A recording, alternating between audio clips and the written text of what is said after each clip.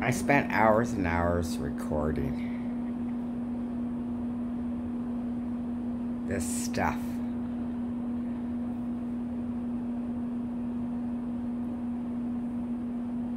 And by golly, this one's really lively. Take a look, it even looks like it might even have a bit of a head. Like a snake. Then it's gone. But it took quite a few hours to get recording of these little pieces moving.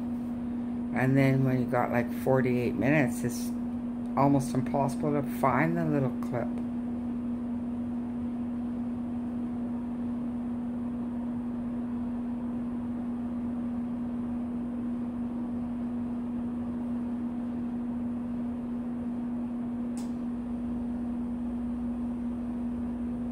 You're gonna tell me that's not moving and changing shapes? Well, the other ones are doing nothing.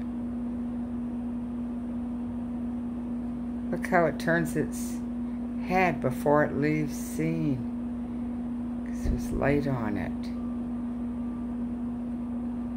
Guess where I got that from? The muscle that goes on your face. The, the uh, surgeon's one.